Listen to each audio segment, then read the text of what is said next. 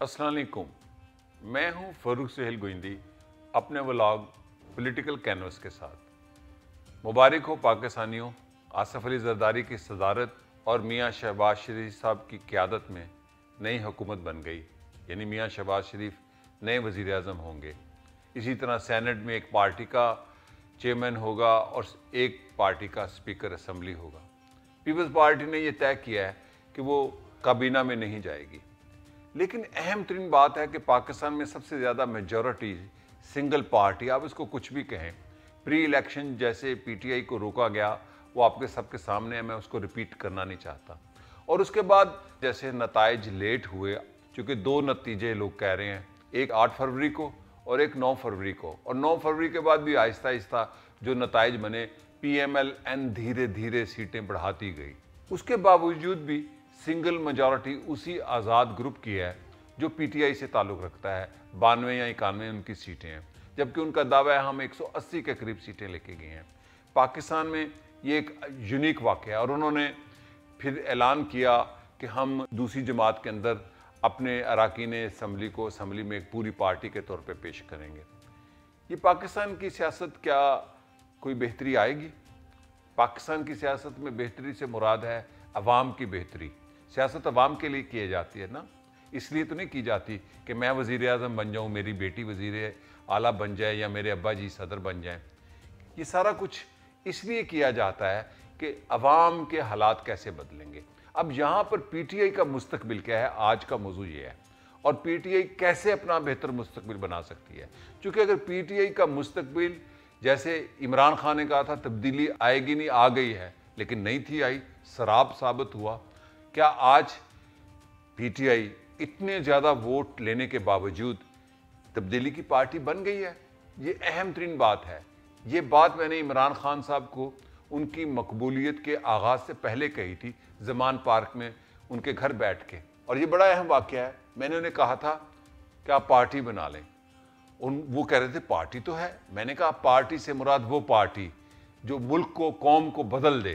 Party से मुराद पाकिस्तान के अंदर मुरवजा सियासी पार्टियों के ढांचे कभी भी पाकिस्तान को तब्दील करने की ताकत नहीं रखते। अगर आप तब्दील करेंगे तो आपको रस्ते से हटा दिया जाएगा, जैसे जुल्फ़ार अली भुट्टो को। खैर, वो ये मेरे साथ इमरान खान साहब बहस करते हुए अपने जमान पार्क के गेट तक बहस करते हुए बड़े जज्बे के साथ। इस बारे लिख चुका हूँ। लेकिन अब आसफ अली जरदारी सदर होंगे, शहबाज शरीफ वज़ीर आज़म होंगे मैं जितनी भी जमहूरियत हो उस पर यकीन रखता हूँ, जितनी भी। लेकिन ये वो जमहूरियत नहीं है जो इस कौम को एक तरक्की याफ्ता कौम में तब्दील कर दे या इस रियासत और ममलिकत को। मैं इस पर भी यकीन नहीं रखता कि इस्टेबलिशमेंट के साथ तसादम से तब्दीली आती है। तब्दीली अवामी फ़िक्र और अपनी जमात को बनाने से आती है। अब कुछ लोग मेरे साथ ये बहस कर रहे हैं कि पी टी आई अब जमात बन गई है। ये बहुत अहम नुकता है कि पी टी आई का मुस्तबिल क्या है पीटीआई के मुस्तबिल के साथ यकीन इमरान खान का मुस्तबिल भी जुड़ा हुआ है और अवाम का मुस्तबिल भी। अगर पीटीआई को ये गुमान हो गया कि अब वो जमात बन गया और उसके अंदर से वो फ़िल्टर हो गया सारा गंद जो इलेक्टेबल की शक्ल में था, जो सिस्टम के लोग थे, वो छोड़ गए ग्रुप बना गए, नई जमातें बना गए। तीन तीन तहें हैं उनकी। एक वो जो तरीन के साथ चले गए, एक जो खटक के साथ चले गए, एक जो इधर उधर हो गए। अब जो बच गए अब जो नब्बे लोग ऐसे जीते हैं जिन्होंने कभी इंतखाब नहीं था लड़ा।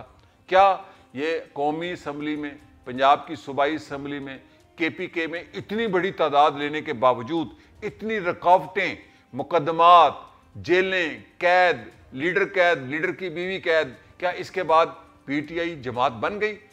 एक बड़ा तबका ये समझता है जमात बन गई।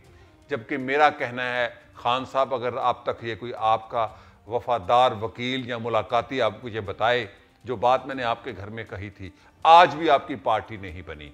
ये ये जो ये जो हुआ है आठ फरवरी को, ये पार्टी ने नहीं किया। पार्टी तो आपकी तोड़ दी गई। आपका ब्रिज तोड़ दिया गया, बिल्कुल।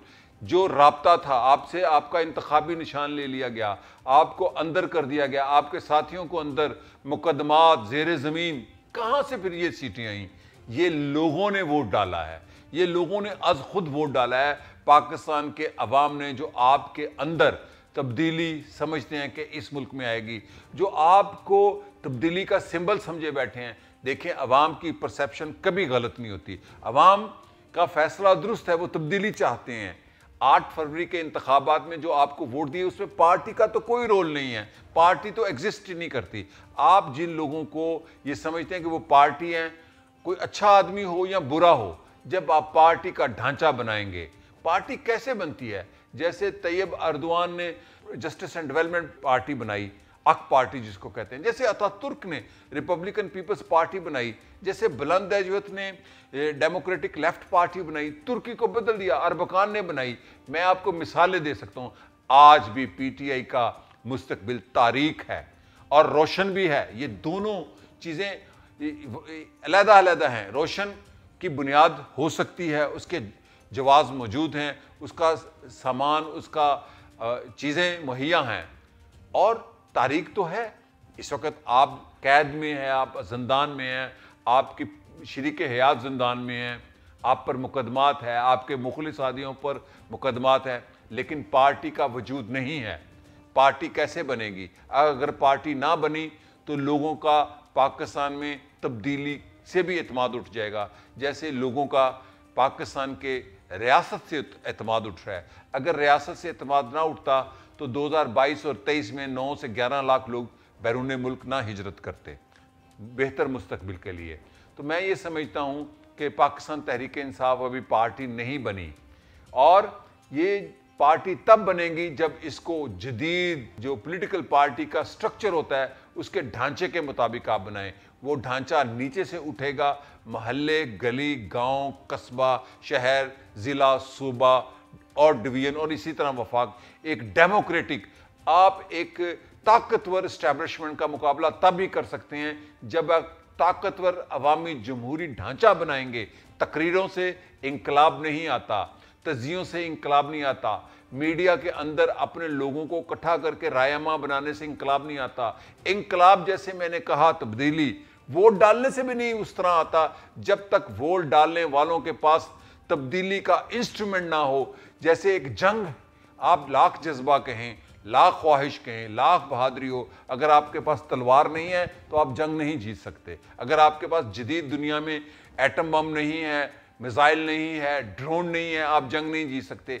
इसी तरह अवाम की ताकत जो पीटीआई की हो सकती है, वो एक पीटीआई का पॉलिटिकल डेमोक्रेटिक अवामी और मेरिट की बुनियाद पर ढांचा है, वरना पाकिस्तान में कोई तब्दीली नहीं आएगी। हाँ ये जो हुकूमत बन गई है, इसके बारे में ये कहता चलूँ कि मैं ख्वाहिश करता हूँ कि ये हुकूमत जो गिवन सिचुएशन है, उसके अंदर जो जमहूरियत है, उसको मज़बूत करें। लेकिन पाकिस्तान के अंदर सियासी जमातों ने यह साबित किया है कि वो जमहूरीत को मज़बूत करने में नाकाम हुए हैं। जिस तरह ये हकूमत साजी हो रही थी, इससे साबित हुआ कि जो गैर जमहूरी इस सोसाइटी और स्टेट के अदारे हैं, वो मज़बूत किए हैं आपने।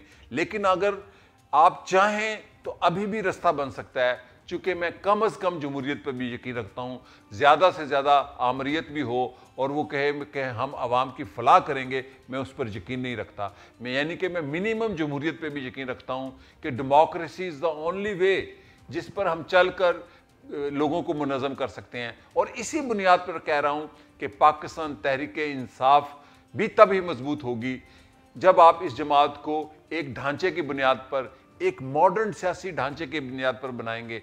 आप उस्मान डार की वालदा की तकरीरें बड़ी अच्छी हैं, जज्बाती हैं, लेकिन कैसे कुचल दिया उस्मान डार को, आपके मुखलिफ साथियों को, चूँकि पार्टी का ढांचा नहीं था। तो ये सारी चीज़ें आर्जी फतह होती हैं। ये उसी तरह है कि आप जज्बे से जंग लड़ने चले जाएँ, लेकिन आपके पास पूरा इक्विपमेंट ना हो। एक एक डेमोक्रेटिक पार्टी के बगैर पीटीआई का कोई मुस्तकबिल नहीं है। पीटीआई अगर अपना मुस्तकबिल बनाना चाहती है और अवाम की उम्मीदों पर पूरा उतरना चाहती है तो आइडियल वक्त है आज पीटीआई के पास। आज पीटीआई अपने सियासी जमहूरी ढांचे को बनाने का फैसला करे और आप यही काम करें।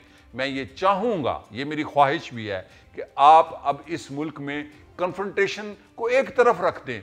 बुनियादी तौर पर आप अपनी सियासी जमात की तंजीम साजी, इसको तब्दीली की पार्टी बनाएँ और इसके लिए बहुत बात की जा सकती है। कभी मैं खुलकर पीटीआई के लीडरों के साथ ये बात करूँगा इसी चैनल पर मुख्तलिफ़ इंटरव्यूज़ में कि कैसे पार्टी आप बना सकते हैं और आप कैसे नाकाम हैं अभी तक पार्टी बनाने के हवाले से। तो इसी के साथ इजाज़त चाहूँगा। शुक्रिया और खुदा हाफिज़।